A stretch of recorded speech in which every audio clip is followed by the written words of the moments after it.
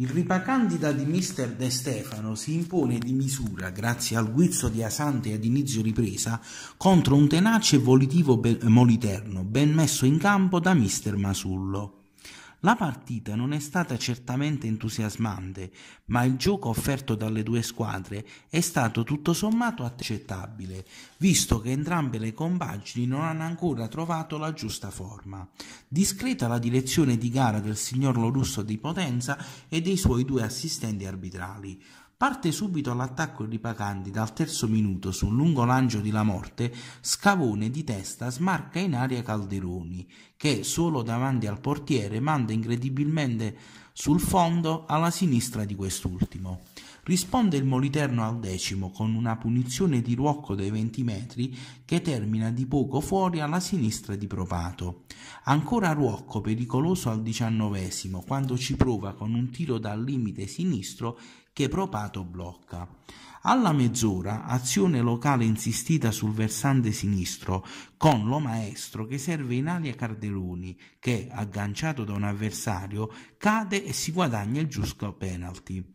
Dal dischetto si presenta lo specialista Pietragalla che però sbaglia colpendo la parte bassa della traversa. La sfera ritorna in campo e la difesa ospite riesce a liberare. Il Moliterno ci prova al 43esimo quando sul lancio di Paniagua Nakanibiu fa velo per Ruocco che entra in aria da sinistra, salta in slalom il diretto, il diretto avversario e tenta un tiro al volo che Propato blocca sul primo palo. Il primo tempo si chiude con un tiro cross da sinistra di Lovecchio che la veglia blocca senza problemi. Nella ripresa Ripacandida passa in vantaggio all'ottavo, quando su una punizione dal versante sinistro battuta da Pietragalla è Asante a trovare la deviazione a rete in mischia per il vantaggio bianco-verde. Il Moliterno si vede al dodicesimo, quando su un fallo laterale da destra di Pecoraro Pascuzzo prima e Nakanibiu poi fanno sponda per Paniagua che appena in aria si libera al tiro dal limite destro sfiorando il primo palo. Ancora Paniagua si rende pericoloso al ventesimo, quando con una punizione dei 25 metri sfiora il 7 alla destra di Propato. Passa un minuto e Ripacandida ci prova con una punizione da sinistra di Pietragalla che la veglia respinge.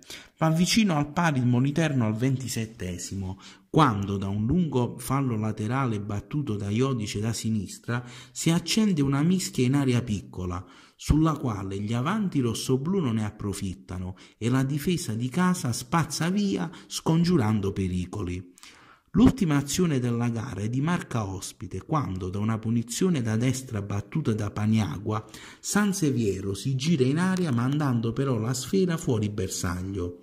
Al triplice fischio finale il Ripacandida può festeggiare una vittoria importante, onore al Moliterno che esce sconfitto ma a testa alta, per aver tenuto testa ai più quotati avversari per tutti i 90 minuti di gara.